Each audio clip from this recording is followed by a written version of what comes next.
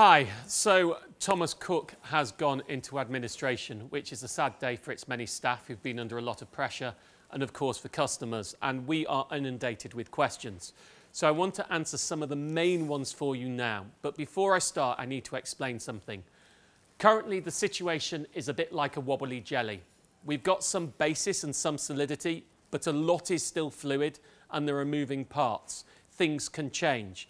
Many big companies like banks and credit card providers haven't yet had their meetings about what they're going to do about it. So there's some still up in the air. And there are even questions we can't find answers to yet. Should you cancel your direct debit if you're paying that way? What happens to ancillaries on a wedding package if you book that through the ATOL Protection Scheme? Now, all of those, the team are on it. We have a full guide on Money Saving Expert where we're looking at your questions, doing detailed research and building together a bigger and bigger Q&A. My plan in this quick video is to do the mainstay stuff. I'm not going to go into that level of detail. For that, you'll need to go to the guide. So let's start. If you're abroad watching this or you know someone who's abroad and you're a Thomas Cook customer, you will get a flight home. The Civil Aviation Authority has launched the biggest repatriation event since World War II to bring, bring people back. And you'll also stay until the rest of your holiday. Don't try and come home more quickly. There aren't enough planes to do that.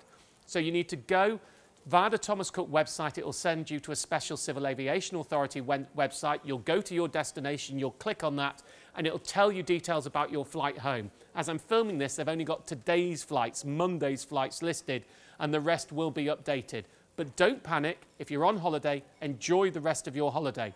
There may be a few occasions where you won't get a flight home and they'll ask you to buy one and refund you. Interestingly, the flights include, as far as we're aware, people who just booked flight only that doesn't normally have the ATOL protection. Still, you're going to be brought home anyway. As for your hotel, if you paid for it as part of a package and you're away, then that hotel should be paid for. If you have problems with the hoteliers, there's a special Civil Aviation Authority telephone number that you can call up and they say sort it out and don't pay.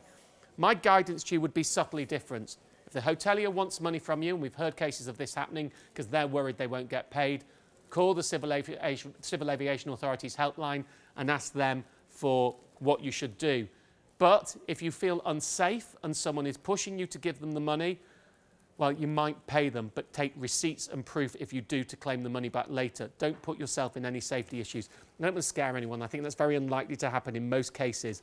But just always play for your own safety when you're abroad and if you feel th threatened anyway. So, moving on from that, let's go to people who've booked holidays and aren't going yet. Well, if you've booked a holiday uh, and it's a package, generally you will have ATOL protection. There are some ifs and buts, but generally you'll have ATOL protection or in some circumstances ABTA, and there are some other slight schemes that may apply.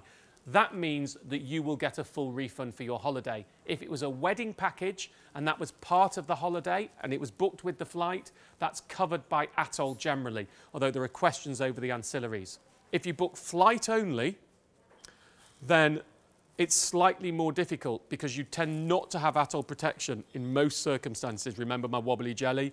You've got to take this with a little bit of a pinch of salt. It's generally right, but there's a lot of different circs out there. So, if you booked flight only, the first thing you'd look at is your travel insurance, which is unlikely to protect you.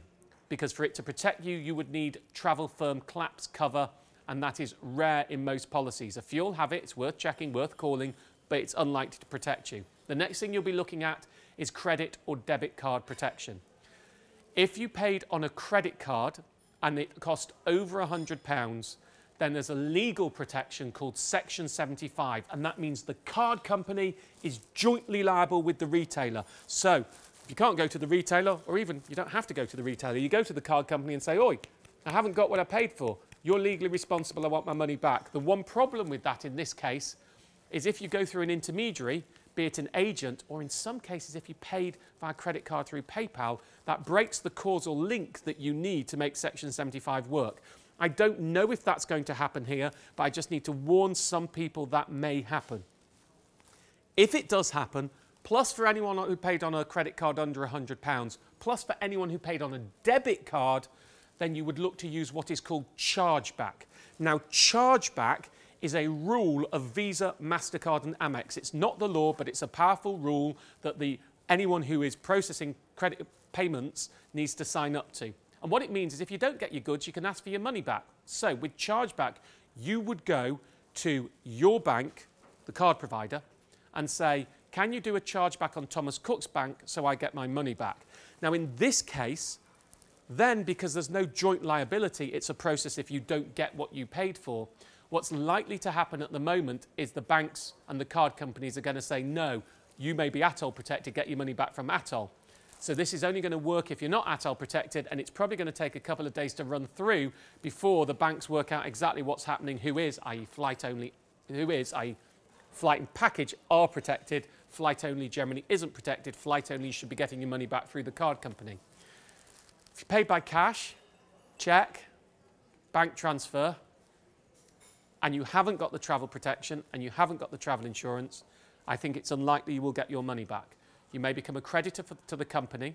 What that means is the administrators are now in charge. Their job is to get as much money as possible from Thomas Cook's assets. They'll try and sell some off. They might keep some going as a going concern. And of that money, it will then be distributed to all the people that Thomas Cook owes money, but that's a lot of people. And if anything, it would be a few pence in the pound. This is why I always say, don't pay in cash, pay on plastic, preferably a credit card paid off in full at the end of every month. Uh, the direct debit one is just an issue that's up in the air for us at the moment, and we are desperately trying to get you answers. I hope we'll have answers by later in the day today on Monday. Vouchers. If you've got vouchers for Thomas Cook, well, again, we always will never to use vouchers. They're never that safe. Vouchers for Thomas Cook are probably not worth much now.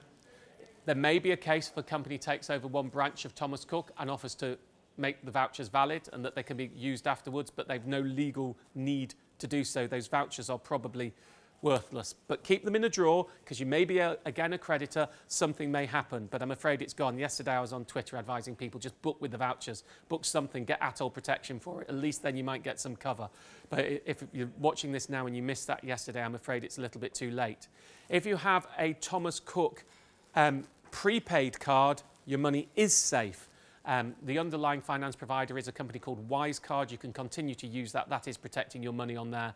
That one works.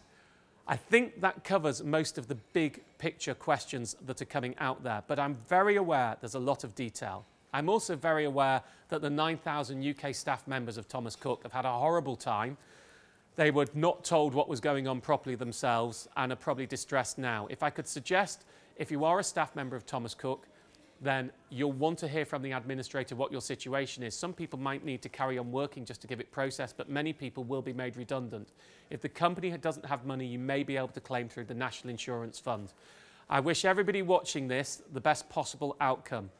For most customers, you are likely to get your money back. But as always in these things, while the officialese will say that you will get your money back, unfortunately, some people will fall through the cracks.